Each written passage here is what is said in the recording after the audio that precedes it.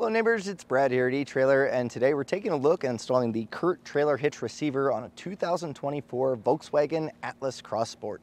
This is what your hitch is going to look like when it's installed and it's a hidden cross tube which means that really all that you're going to see visible is going to be this plate as well as your receiver tube opening so you get that nice clean look where the rest of the hitch is going to be hidden behind the rear fascia. The two inch by two inch receiver tube opening is gonna be great. This is kind of the standard size for a lot of different accessories. So whether you're picking up a ball mount, bike rack, or cargo carrier, you're gonna have tons of options available for this.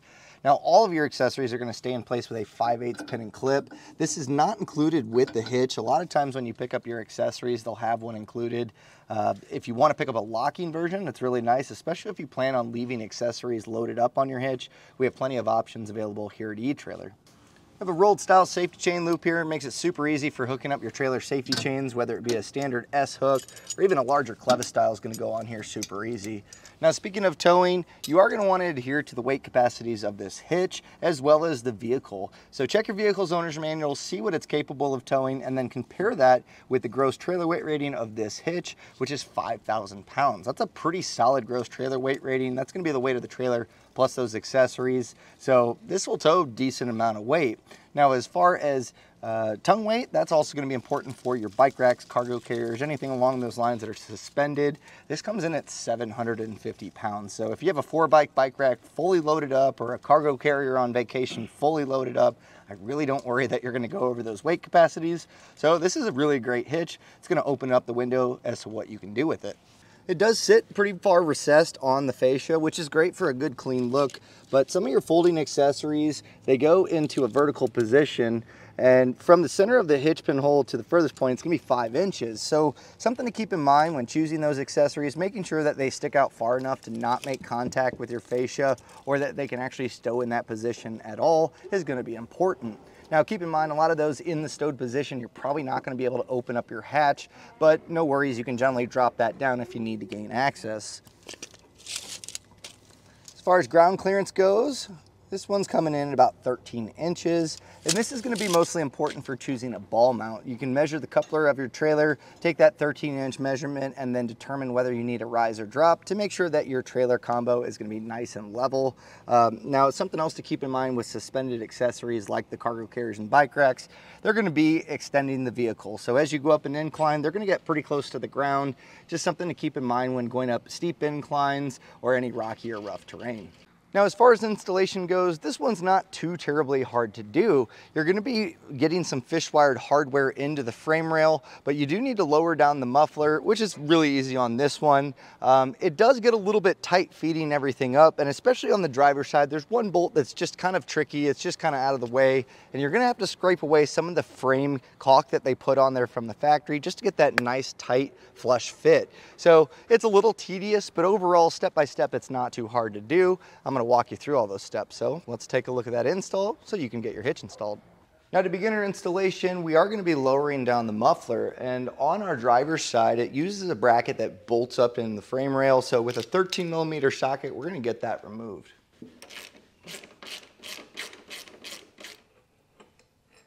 Now on the passenger side, we're going to need to pry off the isolator. It doesn't have that bracket. Uh, pretty easy here, just with a, a pry bar or a long flathead screwdriver. Use leverage to kind of get this to pry off. You can do the top or bottom, it doesn't really matter. Uh, sometimes these can get kind of tricky. They're gonna not wanna slide on the isolator. It makes it a little bit harder to get off, but if you need to, you can spray a little soapy water solution. That'll lubricate it, make it nice and easy for taking it off and also putting it back on later. Now there's an isolator further down on the resonator that's gonna support this, so you should be good, but this is gonna give us that extra room to kind of be able to move this down to get everything in place. Now in the instructions, they don't uh, state that you need to scrape away this underbody coating, but this does make it to where the hitch will not wanna sit flush. I mean, this is flexible, but also that's a pretty large gap. Uh, I don't feel super comfortable with that, being able to get it, you know, flushly mounted. So you do want to scrape this back where the access holes are, where our hardware is going to go. Um, a utility knife uh, or a putty knife like I have here, it's gonna take a little bit. You're gonna just kind of work away at those high spots. A little trick that I've found is an oscillating tool or a multi-tool like this works really, really well to just kind of scrape this off. So we're gonna just make this as flush as possible and we're gonna do that on both sides.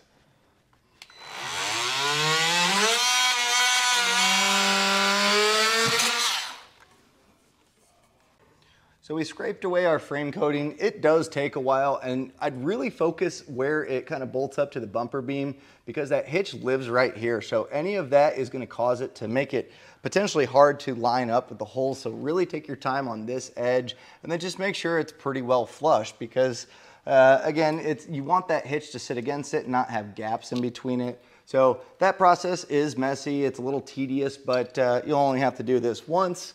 Now, as far as getting our hardware in place, we're gonna be using a fish wire technique. So we're gonna be using the furthest rear hole, and then we're also gonna be using the furthest front hole, which is this oblong access hole, and that's how we're gonna feed our hardware. So starting on this one, we're gonna take our fish wire and take the coiled end. If you need to, you can put a bend in it to kind of feed it back. But as you feed it, you're gonna feel for that coiled end on this access hole. And I'm gonna put a little bend on this uh, non-coiled end. That way it doesn't pull through, but also it helps when we get the hitch in place. So at this point, what you'll do is take your spacer block and slide it over the coil, and you can just feed that into the frame rail. Now seeing how close it is, I'm just gonna take a burr bit that I have here and just grind away a little bit of that edge to be able to drop that in. Uh, if you don't have a burr bit, that's fine. You could probably use a drill bit and just kind of work it along the edge here. Um, or even a file will probably work. It doesn't take much. Uh, just with that tiny little bit grounded out, I was able to get this in place. So we'll feed that carriage bolt in. Really doesn't matter as far as configuration, you know, it doesn't have to be straight because as I pull on the other end, we'll get this to drop in you may kind of have to jostle it around a little bit, but you should see that drop through the spacer block. And at this point, leave your fish wire attached. This is gonna help when we get the hitch up in place that uh, we wanna make sure this doesn't pop back up in the frame. Now, pretty similar technique, but this is a reverse fish wire that we're gonna use on the access hole. So we're just gonna prep this here, and then we'll feed this in.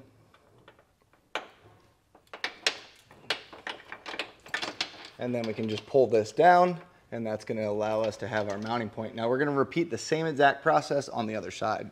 At this point, it's gonna make it a lot easier to get an extra set of hands to get your hitch fed up. Uh, and I recommend having your serrated flange nut ready on both sides. That way you can uh, get a few threads started and it's gonna hold the hitch up. Now, feed your fish wires through the uh, you know corresponding holes. So it'll be this front one and then our back one, but we're gonna wanna raise this up over the muffler kind of tight here.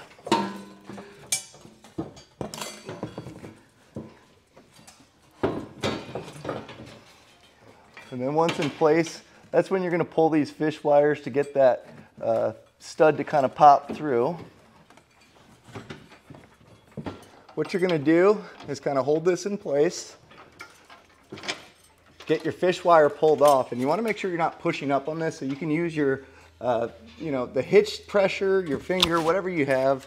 Um, or you can actually take the fish wire, wrap it around some of the threads, and that's a great way to kind of hold that in place while you thread on the serrated flange nut. Just get a few threads started. Once you get a few threads started on each side, that'll make it a lot easier to hold that hitch up, and then you can get the rest of the hardware on. Now, if you're struggling to get uh, the serrated flange nut started because there's not a whole lot of thread, what you can do is start to draw the other ones that you have in place up, and that'll kind of pull it, giving you more threads. Now keep in mind the muffler here uh, was kind of weighing on the hitch, so if you need to, you can kind of raise that up. You can use a, a, floor jack or something along those lines, a block of wood, whatever you have, and that's gonna help get that hitch up a little higher too.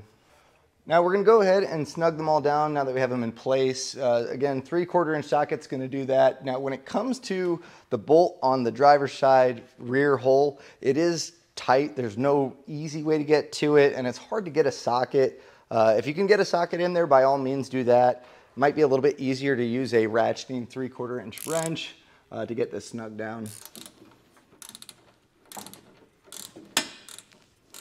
So we're gonna go through, we'll get everything snugged down, and then we're gonna come back with our torque wrench. So you really don't have to get crazy here. Uh, hand tight is definitely gonna be good enough for now, and the torque wrench will take care of the rest. Now with everything in place, we got that hole lined up for our exhaust bracket. We're gonna torque this down using the three quarter inch socket. Torque settings are found in the instruction manual. If you need a torque wrench, we have them available here at eTrailer. You can generally go to an auto parts store and rent one for free. Now this is gonna be important because it's gonna make sure that the hardware is gonna be tight enough for the lifespan of the hitch, but also not too tight putting stress on the hardware. So this is an important step. We'll go through and get these all torqued down.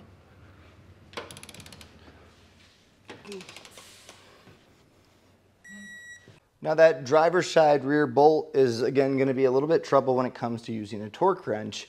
And uh, to get just a standard socket and torque wrench in there, it's probably not gonna work out very well. Uh, best way you can attack it is by using a crow's foot attachment, um, which basically goes onto the end of this. It'll allow you to slide in there. You'll have to reset it a few times.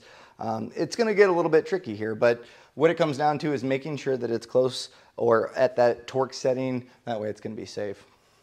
With those torqued down, we'll go ahead and raise up our muffler. Um, you may want to put this isolator back on first. That'll kind of hold it in place and make it a lot easier for us to get that bracket in. Now we'll take our new bolt and raise up our bracket and get that threaded in. Now this is going to be a 13 millimeter socket. We'll get this snug down. There's also going to be a torque setting uh, associated with this, so we'll get this torque down as well. With everything torqued down, we've officially installed our hitch. All this left to do is hook up our accessories in our hitch and hit the road. And that was a look at installation of the CURT trailer hitch receiver on a 2024 Volkswagen Atlas Cross Sport.